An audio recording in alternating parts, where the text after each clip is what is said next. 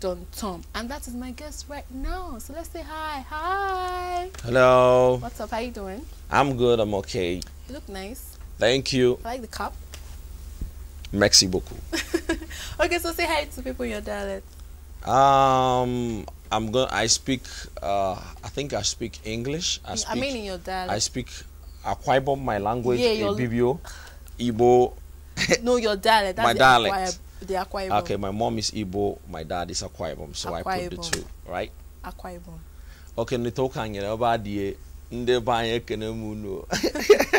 Okay, what does that mean? My people, what's up? How you all doing? Nice to be here. Okay, ah, yeah. okay.